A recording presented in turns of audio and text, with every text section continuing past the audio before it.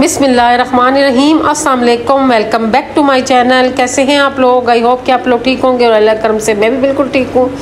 तो ये हम लोग गाँव से वापस आ रहे हैं। गाँव में मेरी बहुत सख्त तबीयत ख़राब रही है। पूरी रात में जो है ना मेरी तबीयत थी, मुझे बहुत ज़बरदस्त फ़ूड पॉइजनिंग हो गया था। तो इसलिए हम लोग सुबह नहीं निकल सके।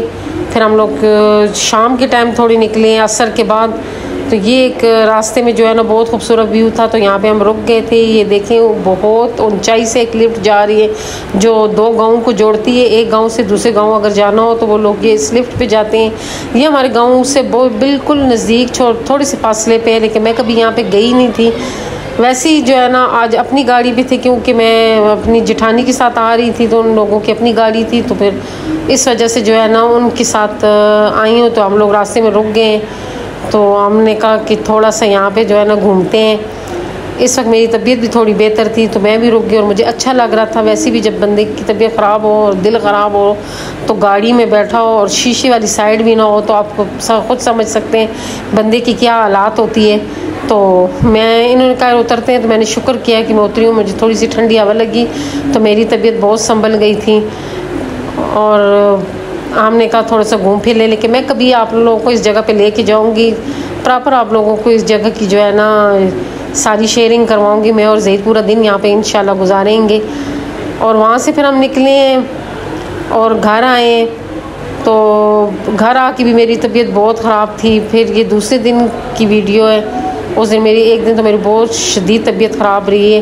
फिर मैं हॉस्पिटल चली गई थी, वहाँ पे जो है ना मुझे ड्रिप वगैरह लगी है, मेरी थोड़ी सी तबीयत ठीक हुई तो मैं उठी हूँ।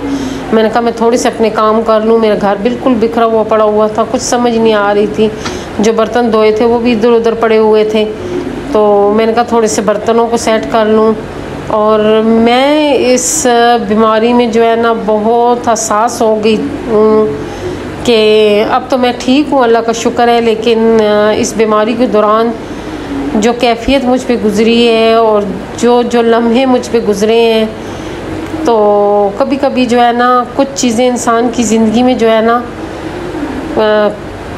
तब्दीली के लिए आती हैं। तो मैं समझती हूँ कि मेरी ये वाली बीमारी जो थी ना, उसने मुझे बिल्कुल चेंज कर दी है। मुझे बहुत से रास्ते दिखा दिए, कुछ फ़ैसले मुझसे नहीं हो पा रहे थे, वो फ़ैसले मुझसे अब ये करवा रही है। तो कभी कभी जो है ना, बीमार भी हो जाना चाहिए कि इंसान को अपनी ज़िंदगी के बारे में पता चले। बंदा राउंड साइड पे चल रहा होता है, बंदे को पता नहीं चल रहा होता है कि मेरी जो सीधी साइड है वो कौन सी है। तो इंसान को जो है ना कभी कभी अपने बारे में सोचना चाहिए। और इस वक्त मैं इनका थोड़े से चावल उबाल लेती हूँ अपने लिए और जहीद के लिए, क्योंकि बिल्कुल दिल नहीं कर रहा था, कुछ भी खाने को दिल नहीं कर रहा था, एकदम दिल बंद हो गया था। समझ ही नहीं आ रहा था कि मुझे क्या हो गया है, मुझे जो है ना, इसी तरह मैं चरपाई पे पड़ी रही। सारा सारा दिन ना मुझसे काम हो रहा था, ना कोई काम करने वाला था।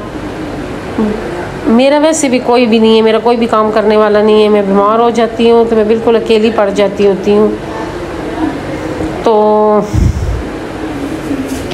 मुझे फिर दुख लगता है। चूल्हा मेरा देखे किस कदर गंदा हुआ होता है। घर मेरा बिखरा हुआ पड़ा हुआ था। फिर मैं ड्राइंग रूम में आई हूँ। कपड़े मैंने धोए थे एक दिन पहले। वो सोफ़े के ऊपर पड़े हुए थे। मैंने कहा, चलो, इसको मैं तय कर लूँ कि मैं क्या करूँ ना? मतलब जो है ना, घर की मुझे समझ ही नहीं आ रही थी। ना मुझसे काम हो रहा था और ना मैं देख पा रही थी। काम हो भी नहीं रहा था और गंदे घर को देख के दिल और भी जो है ना, खफा हो रहा था। फिर इधर आई हूँ वीडियो चलाई हैं कुछ। मैंने कहा, बहुत सी वीडियो मैंने नहीं देखी थी। तो और साथ जो है ना, शिमला मिर्च काट रही थी कि मैंने कहा, थोड़ा खाना शाना बनाऊँ खाना मैंने बनाया, उसके बाद फिर मेरी सब तबीयत ख़राब हो गई। और फिर मुझे जही ने ड्रिप लगा दी कि मैं बहुत बेहाल हो गई थी। तो अब तो खैर अल्लाह का शुक्र है, मैं ठीक हो गई हूँ। और आप लोगों ने मेरे लिए दुआ करनी है कि मैं इसी तरह ठीक रहूँ, क्योंकि मैं बीमार हो जाऊँ तो मुझे संभालने वाला कोई भी नहीं है। और मेरी आज की वीडियो भी यहीं तक है। अगर अच्छी लगी है तो प्लीज़ लाइक भी कर दे शेयर भी कर दे और जो नए लोग हैं मेरे चैनल को ज़रूर सब्सक्राइब करें।